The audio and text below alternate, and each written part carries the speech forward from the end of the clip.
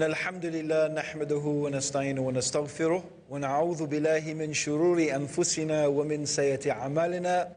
من يهده الله فلا مضل له وما يضلل فلا هادي له. وأشهد أن لا إله إلا الله وحده لا شريك له. وأشهد أن محمدا عبده ورسوله. So we begin by praising Allah and we praise Him and we seek His help and we ask for His forgiveness. And we take refuge with Allah from the evil of ourselves and from the evil consequence of our evil actions. Anyone whom Allah guides, no one can misguide. And anybody whom Allah leaves to go astray, no one can guide. I testify that Allah alone is worthy of worship and that Muhammad sallallahu alayhi wasallam is his servant and messenger. What a perfect introduction the Khutbah al-Hajah is for this topic that we're going to be discussing, brothers. May Allah subhanahu wa ta'ala have mercy upon you for coming here. Over these few days, we're going to be discussing a very, very important subject, the subject of da'wah. What does da'wah mean? To invite, exactly, brother, to invite. I tell you what it means, though, specifically, because I remember once when I was renting a flat, my landlord was Pakistani, and I was discussing with him about the importance of da'wah. And I was saying, brother, it's very important. We have to give da'wah. He said, yes, of course, I will invite you to my house for dinner, right? So he thought it meant dawat, yeah? Is it the same in Hindi? Anyway, in Urdu, it means to invite someone for dinner, right? So this is not a course about inviting people for dinner. This is a course about da'wah to Allah. The word has the same meaning, right? Actually, the word has the same meaning. Dawat, da'wah means inviting. So, actually, the word itself, mashallah, in Arabic, gives us a very good clue about some important principles. We are giving da'wah, which means we're inviting people. The Prophet ﷺ said, My example is of the person who invited people to a feast. So he actually gave his own example of himself as invitation to dinner. So his dawah was like a dawah to dinner. So the Prophet said, Whoever accepted the invitation ate from the feast. Whoever refused, they refused and they dinner. So this is the situation. Subhanallah, we are inviting people to Allah subhanahu wa ta'ala. So we can't force anyone to be Muslim. This is a very beautiful thing, brothers. Allah has not asked us to make people Muslim. Allah has asked us to invite people to Islam. Of course, using all the best methods that we can, but our job is invitation. So, whoever Allah guides, no one can misguide. Whomever Allah leaves to go astray, no one can guide. So, who is the one who is doing the guiding? Who is the one who is guiding? It is Allah. It's Allah. We are the inviters, Allah is the guide. So this is our job. Actually, this makes our task easy. Alhamdulillah. And another thing, my dear brothers, may Allah have mercy upon you, that makes our task very easy is that Islam is the deen of fitrah. What does that mean? Does anyone know what that means? The deen of fitrah? It's the natural way of life. The fundamentals of Islam that Allah alone is worthy of worship, that He is the Rabb and He is the Lord, the cherisher, the provider. The knowledge of this is instinctive and natural in the human being. Every human being has been created with this knowledge. So we are actually reminding people of something they fundamentally already know. As long as our method of giving dawah is right. Okay? This doesn't mean that people fundamentally know that pork is haram. or that khamr is haram, or that they should wear hijab. They don't fundamentally know that they should pray five times a day and fast the month of Ramadan. No, that is not part of the fitrah. Okay? What is part of the fitrah or what is part of the natural disposition is the knowledge of a tawheed. That Allah alone should be worshipped, that He is the Lord, that He is the provider. So, this is a big clue, brothers. And I know that, inshallah, sisters will be listening and watching. They're not with us today, but inshallah, they'll be watching this series. So, we're going to see this, inshallah, because one of the things we're going to be learning in this course is a very, very useful dawah technique. Now, dawah is really an art. It is not something you can learn in a course. It is not something that you learn in a day or even a week or even months. It is something that takes a lot of experience and you will keep on learning. You will never stop learning about dawah. The other thing, brothers and sisters, is that, subhanAllah, you will make mistakes. You will make mistakes. That's going to happen. And I'm going to be interacting with you, so don't run away. You will make mistakes. It doesn't matter. That's okay. The person who never made mistakes in dawah never gave dawah. The person who never made mistakes in dawah never gave dawah. You're a human being. You're going to make mistakes. The important thing here is to learn from your mistakes, inshallah. Okay? So don't worry about that. Don't worry about making mistakes. It's going to happen. So, what is this course about? What is this course about? Okay, first of all, I hope we've clarified what we mean by da'wah. Let me clarify it further. In the Sharia or in Islam, da'wah has quite a wide meaning. The term da'wah has quite a wide meaning. And it encompasses everything that includes enjoining what is right and forbidding what is wrong, calling people to righteousness, teaching, inviting people, all of these things are da'wah. But during this course, we are having a very, very narrow idea of da'wah. We're restricting it. So this course is really about da'wah to non-Muslims. Although there are many Muslims who could probably benefit from what we will be talking about.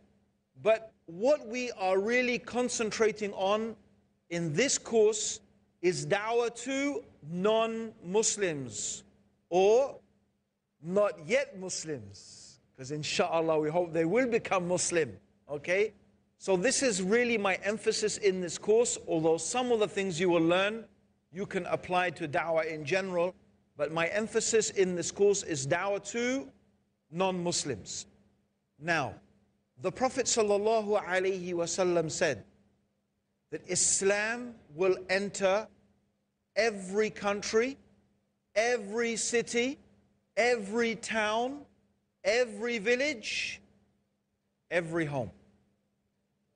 Even if there is a home that is made of mud or hair, Hair means a tent. There will be a person whom Allah will honor, an honor that He gives to Islam, or a person who He will dishonor. That is the dishonor that comes with disbelief. That is going to happen because this is the hadith of the Prophet, and the Prophet ﷺ spoke the truth and he never lied. So Islam is going to enter every home. Now, there's two ways you can look at this, brothers and sisters. Two ways. You can just look at this as an event that is going to happen sometime. That's it. I look at, okay, that's what the Prophet said. That's going to happen sometime. What's another way you might look at this hadith of the Prophet? With another approach, another mentality. What do you think? How else could you look at this hadith? You could look at it, brothers, as an opportunity. Look at the hadith as an opportunity. If the Prophet ﷺ said, Islam is going to enter every home, that's going to happen. So you could have the mentality of, wait a minute, maybe I could be part of bringing that into fruition. I can be part of making that happen. You see, you don't look at the hadith in a passive way, you look at the hadith in an active way. Yes? This is how the Sahaba used to be. When the Prophet ﷺ used to talk about the people of paradise, and he said there are certain people, they will go to paradise who have these qualities. You will find the companions would jump up and they would say, Oh Messenger of Allah, make dua to Allah that I am one of them. They didn't sit there passively thinking, Oh, just some information there. No. Their attitude was, I want to be from one of those people. You see, so there was a great leader in Islam. His name was Muhammad al Fatih. He is the person who conquered Constantinople. He was a young man, I think he was 23 or 24, 25 years old. And he led the army that opened Constantinople, which is today, what is it called? Turkey. No, Turkey is the country. Istanbul. Istanbul. Istanbul used to be called Constantinople. It was the capital of the Roman Empire. It used to be considered impregnable because it had like layers and layers of walls. No one had ever conquered Constantinople. But this man, Rahimullah, Muhammad al Fatih, he read or heard a hadith of the Prophet sallallahu alaihi wasallam. And this hadith said, the army that opens Constantinople will be an army of paradise. And he said to himself, I want to be the leader of that army. So he saw the hadith as an opportunity. He didn't just see it as something that was happening. He saw this as an opportunity. Maybe I could be that person. So, brothers and sisters who are listening, this hadith of the Prophet sallallahu alaihi wasallam about Islam entering every single home, let's look at it as an opportunity. Certainly, I have been inspired by this hadith. And when I read this hadith, I began to think about how could we make this happen? How could, through the permission of Allah subhanahu wa ta'ala, how could we make this happen? How could we make this a reality? Now, the first thing is, brothers, Hands up who has a mobile phone. Why are you hesitating? What's it like? Why are you looking at everyone else to see? if you don't, leave your hand. If you do, put it up. It's not, don't do what everyone else does. It's just that simple. So everyone has a mobile phone, right? So on this mobile phone, you can access the internet, most of you. You can send text messages. Amazing. You can pick up the phone and you can phone your friends and relatives in England and the USA and Australia. Isn't that amazing? That you can communicate with someone almost instantly. It's so fast, it's instant. It's almost instant. I mean, we're talking about milliseconds. It's not even worth counting in human terms. You can communicate instantly with a person on the other end of the planet. And this mobile phone signal can reach, subhanAllah, most places on the earth. You'd have to be very remote these days not to get a mobile signal. You can travel from one end of the world to the other in 36 hours, maybe a bit more. But even in comparison to 100 years ago, that is so fast. When I flew from New Zealand 36 hours from London to New Zealand, I think of it as a long journey, but on the way I was thinking, this is amazing. Because how long did it used to take by ship? And before that, subhanAllah, humans were walking and paddling canoes, and I don't know what, how long it took human beings to even get to New Zealand, subhanAllah.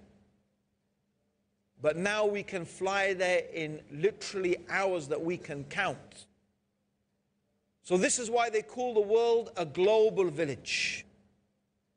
Increasing numbers of people now have access to the internet. The opportunities for us, even if you don't speak the language on your phone, your laptop, you have Google Translate. Subhanallah. Okay, it still has to develop more, but for basic communication, you can manage. So, what excuse is there not to bring this message of Islam? SubhanAllah, brothers, if there was a time in the history of this human race and the history of this planet where the opportunity to spread this message of Islam to every single home exists, that is now. Do you agree with me or not? Alhamdulillah. So, brothers, opportunity. Sisters, opportunity is here. The time is right. And I think there's also other reasons why the time is right. So we don't need to go into them, but I'm sure you can think for yourself. You know, just many things about how the world is today, the way the people think. You know, most people are open to discussion and dialogue. So we have many, many, many opportunities, brothers and sisters. Now, how, though, is this going to happen? How do you think Islam is going to reach or how do you think Islam could reach every person and every home? So, what do you think? You give me some ideas. How can we get Islam to reach every single person, every place, every home? Okay, what other, let's finish with that. so, what other things can we use to reach people? The media, so give me some examples. Like, for example, television, satellite TV. Yes? Subhanallah, brothers and sisters. Peace TV is amazing, mashallah. When I used to live in London, my next door neighbors were Hindus. And they recognized me from Peace TV. They were Hindus and they used to watch Peace TV. Subhanallah. In fact, the head of the household he said to me, he might even be watching this now. he said to me, I learned more about my religion, Hinduism, from Peace TV than I did from my own family. And mashallah, he learned a lot about Hinduism from Dr. Zakir Naik, mashallah. So, really amazing the places that the TV can reach, the media, the radio. But think about TV. The problem with TV and satellite TV, what is the problem with that? There's so many other channels, hundreds and hundreds of channels. And most of those channels, what? Music and dancing and movies. You know, it's like a person comes home from a hard day's work, they're so tired, you know, they don't even want to think. What do they do? They put on the thing, and they, what do they want? They want some entertainment, they want some escape, they want some fantasy.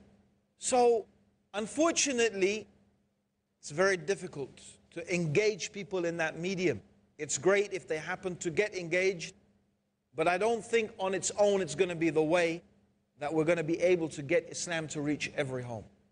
So the brother said one to one. And I agree, especially in this modern age, especially in big cities. I don't know about Bombay, but certainly in London, New York, Tokyo, although Tokyo is not the West, it's very Western. In many of these advanced modern Western cities, you would think that with so many people, people would have lots of friends, yeah, and there would be great communities. No, it's the opposite. One of the biggest problems that people face in cities is isolation. They don't even get to talk to people. They live very isolated lives. But human beings, naturally, they want to talk, they want to share, they want to communicate. Now, in virtually every city, I think every city in the world, there are Muslims. And usually at least large minorities of Muslims. What if we, as an ummah, could once again take up the duty and obligation of da'wah?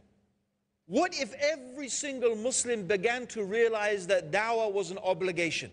Just like I have to pray salah, just like I have to give zakah, just like I need to fast Ramadan and make hajj, I also need to give dawah. It's something Allah has ordered me with. Just as I, subhanAllah, have to eat halal meat. You see, Muslims will be so careful. Oh, we'll have to find halal meat to make sure that the meat is halal, that they make sure that there's a, a chain of halal meat for them, as if, subhanAllah, most of the Quran was about halal meat. SubhanAllah. But dawah, how come they don't think about dawah in the same way? This is a problem. It is a forgotten obligation. If we could wake these Muslims up, if the Muslims could just begin to realize how important dawah was. And so, this is what we need to do. Number one, we need to remind the Muslims. We need to motivate. We need to motivate people to give dawah. That's the first thing motivation. But if you have motivation, is that enough just to have motivation? Okay? So we need motivation and we need knowledge. But actually, that's not enough. Even if you have motivation and you have knowledge, you must transform that knowledge into action. And in most cases, in order to be able to transform knowledge into action, you need an environment that allows you to perform that action. If the Muslims could just begin to realize how important dawah was. And so, this is what we need to do. Number one, we need to remind the Muslims. We need to motivate. We need to motivate people to give dawah. That's the first thing motivation. But if you have motivation, is that enough just to have motivation? Okay? So we need motivation and we need knowledge. But actually, that's not enough. Even if you have motivation and you have knowledge, you must transform that knowledge into action. And in most cases, in order to be able to transform knowledge into action, you need an environment that allows you to perform that action. So, most people, even if they are motivated to give da'wah, even if they have the knowledge, if there is not some environment, and usually that environment, it needs some sort of community, some sort of jama'ah, or what we could call a team. Yeah? So, this is the idea motivation, motivate people to give da'wah, and you're going to learn about that today. Part of your job as du'at, and every one of you, I want you to start thinking of yourself from now as du'at. This is what is, we're going to be teaching you how to be du'at. I don't mean I'm going to teach you how to stand up on the stage and give a speech. It's nothing, don't worry. It's not about that. Yeah? This is about how to talk to your neighbors, how to talk to your work colleagues, how to talk to your non Muslim friends, how to talk to people on the street. You could call this street dawah. So, this is what we're talking about. Okay? So, alhamdulillah, don't worry. It's not about becoming a speaker. You know, they say that most people are more afraid of public speaking than they are of death. Can you imagine that? That's probably because they don't know what's coming after death. But they're more, can you imagine more afraid of public speaking than they are of death? Although, unfortunately for you guys, I am going to make you do some speaking, but that's just to me. Okay, don't worry, in front of us. Just family now, okay? It's just you have to relax and enjoy yourself and not fall asleep because you get in trouble, okay? Alhamdulillah. Okay, so the idea is to have dawah teams. Dawah teams in every city, every town, wherever there are Muslims, we need to form these dawah teams. And these dawah teams could or should be hopefully connected with the masjid. The masajid, they need to understand the importance of dawah as well and they need to get involved in this work of dawah. So, this is the idea, brothers and sisters, to create a mass movement of da'wah. And this is about time the ummah woke up. But you find that hardly any Sahaba died in Mecca and Medina. Why? Did they not know the virtues of Mecca? Did they not know the virtues of Medina? Yes or no? So then why did they die in other lands? What were they doing? Exactly, they were spreading Allah subhanahu wa ta'ala's word. They were carrying the religion of Allah because they knew that the virtue of calling people to Islam was far, far greater than. And it also shows, brothers, they had an outward looking mentality. They were not obsessed and focused about everything the Muslims were doing and whether this and that. No, they were thinking about the benefit that they needed to bring to all of humanity. So, this is the perspective we need. We need this outward looking perspective. We need to refocus on the importance of da'wah. When we do that, I truly believe that you will see a change in the ummah altogether. And one of our problems has been this inward looking mentality. Now, because I have outlined what this course is about, some vision that inshallah we are hoping to materialize. So the idea, as I said, is to have dawah teams. So inshallah, we're going to divide ourselves up into teams. Yes, we're going to have teams, inshallah. So, well, it's already very nicely set up. I start from the right, from Yameen, yes? So this is team one. Okay, you four or five is team one. This is team two. This is team three. And this is team four. So the first activity I have for you, inshallah, is very simple. Number one, between yourselves, you have to choose an emir. Okay? Number two, you have to choose a name for your team an emir, and a name for your team. Now, who should be the emir? Well, it will be good to know what the emir has to do. Okay? The emir is going to have to speak on behalf of the team. It doesn't mean he has to speak all the time, but it's his responsibility primarily to speak on behalf of the team. That's the first thing. And the emir will make decisions. And during discussions, the emir has to make sure that the discussion is controlled and that one person is not talking too much. You see, if I was in the team, probably I would do all the talking. You see, so the emir, his responsibility is to say, like, Abdur Raheem, can you just be quiet for a minute? Because, you know, chup kero. be quiet because someone else has to have a chance to speak, okay? So that's the responsibility of the emir. Of course, not to tell people, shut up. That's maybe not very polite, okay? But his job is to control the team. So you have to decide amongst yourself who is going to be the emir. So it's not the one with the biggest beard necessarily, or the one who is most good looking, or whatever criterion you choose, or the one who has the PhD. I don't know. No. It's the one who's going to do the job of the emir best. By the way, this, brothers, is all training for our vision of da'wah, inshallah. Okay? And also, you need to choose a name for your team. So, I'm going to give you a few minutes to do that, inshallah. Not long. So, you can talk amongst each other now and decide who's going to be your Amir and what are you going to call your team, inshallah. And I'm going to be giving you points throughout the course.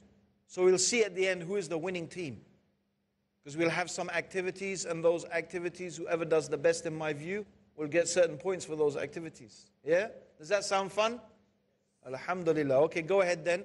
So I'll give you a few minutes, inshallah.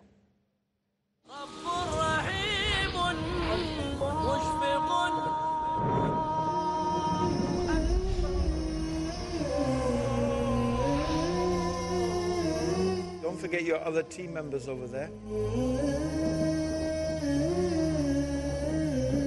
Okay, you ready, guys? One more minute. Okay.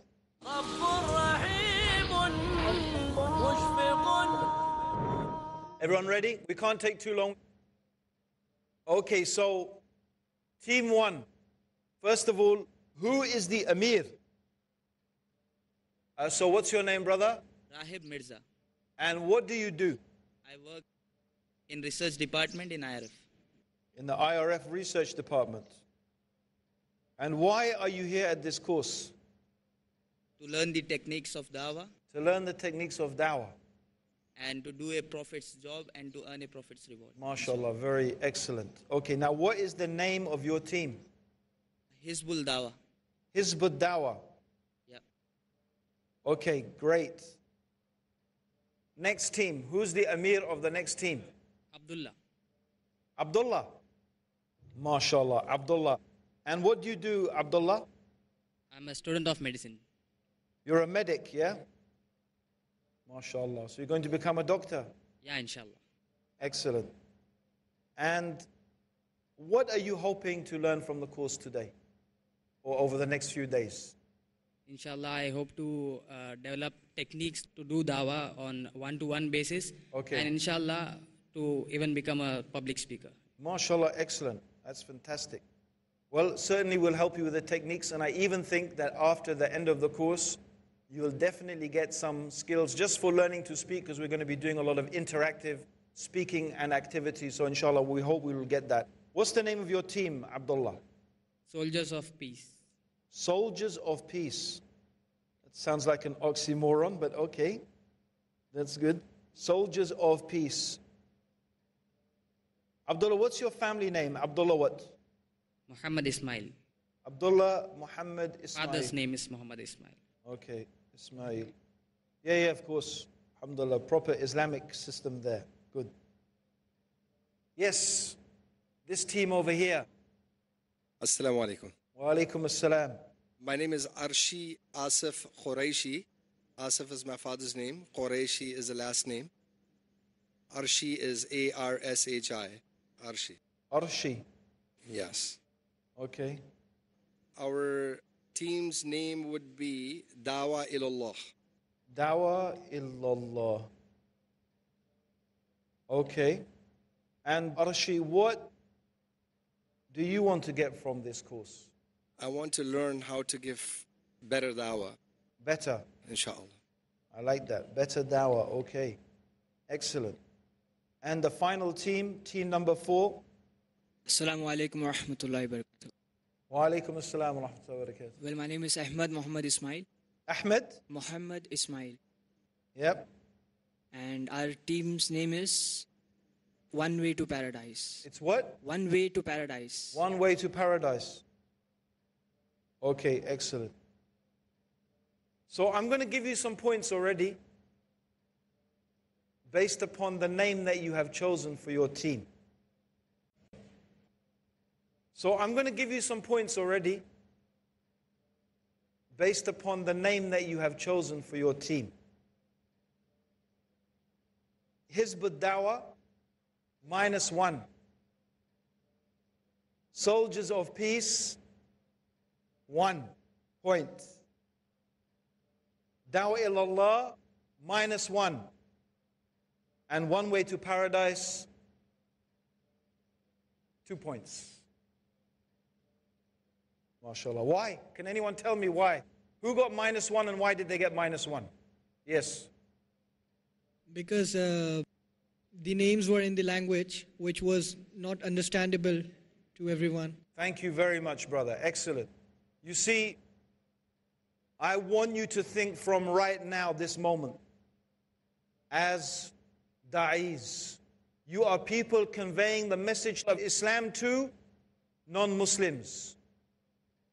If you'd called your team a Hindi name, I would have given you even more points. Because we're in Bombay, right? And I think most people, they speak Hindi, not even English. Or maybe in the university, everyone's going to speak English, but on the street, I don't think so. So you have to think as du'at. If you use a lot of Arabic terms, you may be very impressed with yourself using Arabic, mashallah. But when you're talking to someone who is not a Muslim, they will just be confused. And this is a problem. MashaAllah, brothers giving dawah, explaining Islam, using a lot of Arabic terms, and the person listening to them is just getting very, very confused. Yeah? So you need to think from now as people who are giving dawah. You're going to be talking to non Muslims about Islam. What is the language of your people? What is the language they understand? How are you going to communicate with them? And it's not only about the language, it's about mannerisms, it's about customs. Good dawah takes all of these things into consideration. Okay? So, Alhamdulillah, that was a good start. Um, we've got our teams now, and some people are minus, some people are plus. Charlie will have lots of chance and opportunity to catch up. Okay? So let's have another opportunity. Now I'm going to ask you a few questions. Inshallah, let's see if we can get some points. So put your hands up. Um, why do we do things as Muslims? That's my first question. Why do we do things as Muslims? Yes, Rahim. Why do we do things as Muslims? In order to uh, please Allah subhanahu wa ta'ala. In order to please Allah. Excellent. So the reason we do things as Muslims is to please Allah subhanahu wa ta'ala. And what do we want? What is it that we want from all of this, these things that we do? Yes. Pleasure as well as paradise as a reward. We want paradise, absolutely. We want to go to Jannah. Alhamdulillah. So we want the pleasure of Allah subhanahu wa ta'ala. And inshallah, we want to go to Jannah. And of course, we also want to avoid the hellfire. Okay, so in order to get to Jannah and avoid the hellfire, what do we need to do? What do we need to do? Someone else. Yes, brother. We need to do good deeds and abstain from evil. Okay, we need to do good deeds. MashaAllah, point for everyone here. We need to do good deeds. Okay, so I'll give you guys a chance now. So you can get two points for this. What are the conditions in order for deeds to be accepted? So, in order for a deed actually to be considered to be a good deed, what conditions have to be met? I'll let you guys have a go. Yes. Our act should be according to the Sunnah and Quran. Okay, excellent. So the deeds should be according to the Quran and the Sunnah. So that is one condition. The deeds have to be correct. The deeds have to be correct. I've got hands going up here, so pass the microphone. Let's take it down to uh, soldiers of peace. MashaAllah. Peace missile, soldiers of peace. Yes.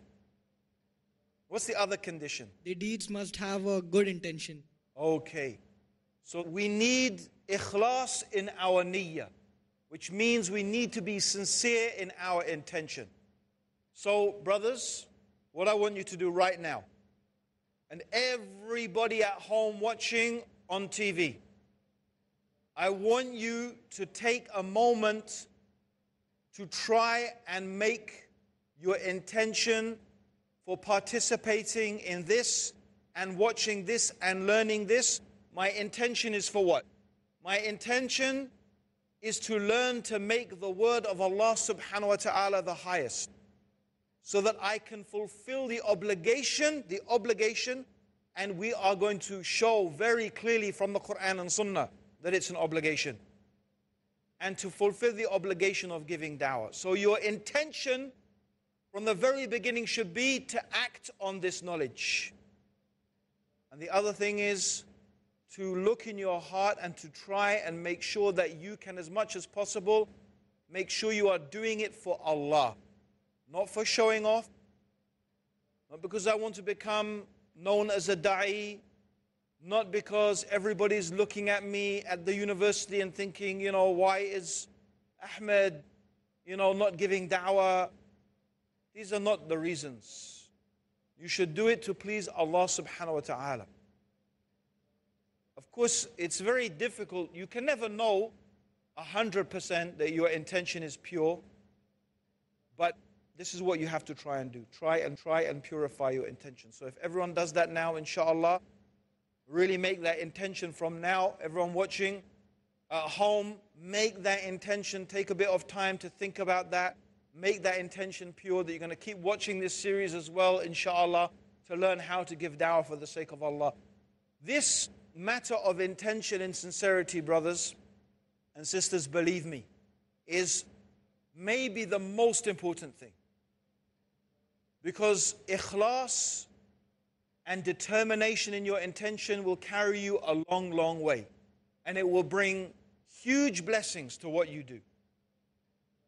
And you will find the difference between teams and groups of people and organizations who have this ikhlas and they are doing things really sincerely for Allah, and others who are doing it because maybe it's just a job, or maybe they want to compete, you know, and show off.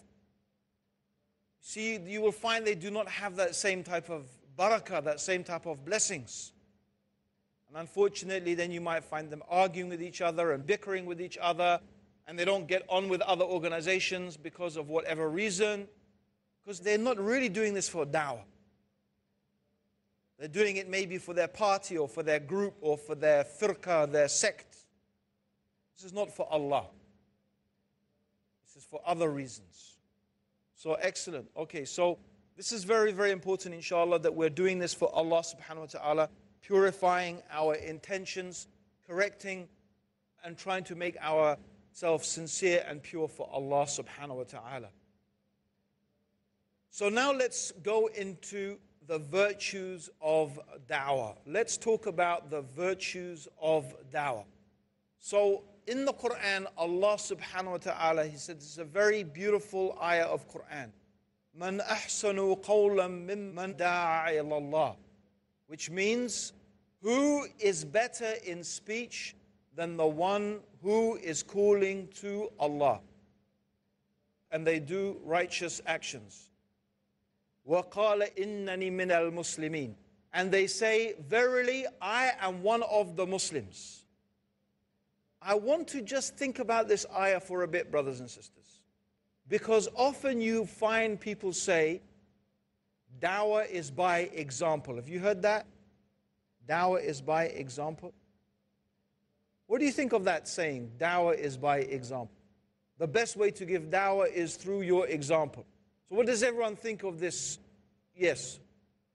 means to develop a good character so that people uh, see you and imitate you. Okay, that's good. What else? Any other ideas what it might mean? Dawah through example? Anything else? Through our behavior, our interactions in the society. Our behavior and our interactions with society. For example, uh, Sahabas, they attracted people towards their way of life by doing business with the local yeah. community got impressed by their truthfulness. Okay. We know that the best dai was muhammad sallallahu alaihi wasallam. Yes. And allah says in the quran laqad kana lakum fi rasulillahi uswatun hasana. He is the best example. Right. So we do have to set a good example character wise okay. Anyways we muslims imitate muhammad sallallahu alaihi wasallam right? So yep. if we imitate him literally, then we set an example in front of them, Yes. and in that way, we ourselves become an example in front of them. So that can bring a change in them. Okay. That's it. And we'll be continuing next time, inshallah. And I'm looking forward to seeing you all. Make sure you all come, brothers. Inshallah. We'll see you then. Jazakallah khair. Assalamu alaikum wa rahmatullahi wa barakatuh.